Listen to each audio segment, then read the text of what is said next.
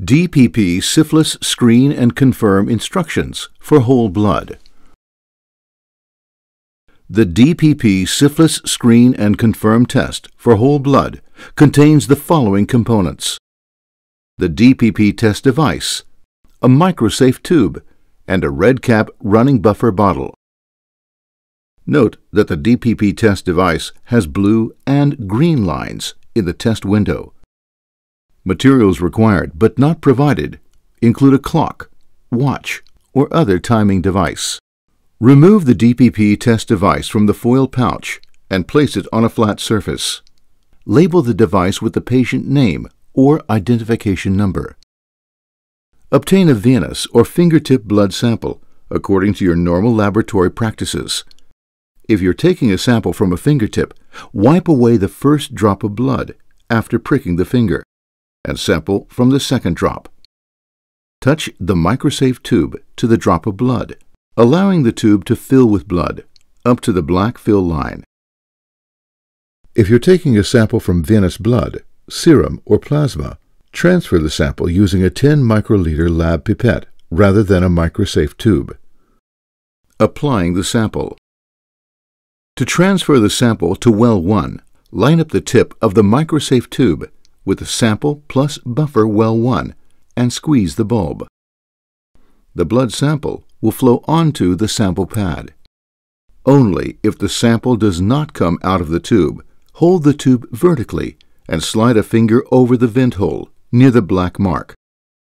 Then, line up the tip with the sample plus buffer well 1 and squeeze the bulb. To transfer venous blood from a collection tube, use a 10 microliter lab pipette rather than the microsafe tube. After removing the red cap of the running buffer bottle, hold the bottle vertically and dispense two drops into well 1 of the DPP device by gently squeezing the side of the bottle. Caution. Holding the bottle sideways may produce invalid results. Now, Wait 5 minutes. Applying the buffer. Ensure that the blue and green lines in the test window have disappeared. After removing the red cap of the running buffer bottle, hold the bottle in a vertical position and dispense 5 drops into well 2 of the DPP device by gently squeezing the sides of the bottle. Caution. Holding the bottle sideways may produce invalid results. After applying the running buffer to well 2, wait at least 10 minutes, but no longer than 15 minutes, before reading the results. Read the results.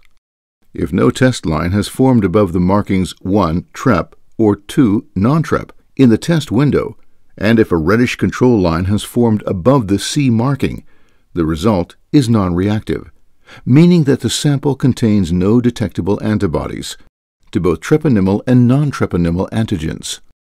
Be aware that this does not necessarily exclude syphilis infection. If a reddish test line is visible above marking 1, TREP, in the test window, and a reddish control line has formed above the C marking, then the result is reactive for treponemal antibodies only. If a reddish test line is visible above marking 2, non-TREP, in the test window, and a reddish control line has formed above the C marking, then the result is reactive for non-treponemal antibodies only. Be aware that the presence of any reddish color in a given test line, along with a visible control line, is considered reactive.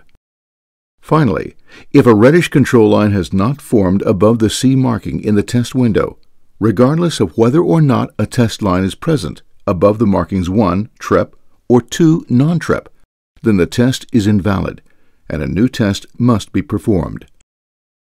DPP Reader You can also use the DPP Desktop Reader to interpret your results. Start by pressing the black button on the back side of the reader to turn it on.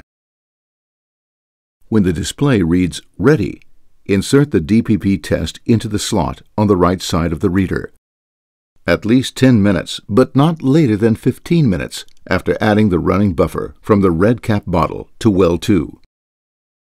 The reader will display the word testing for a few seconds before the results are shown. You may either transcribe your results or print them directly using the small mobile printer.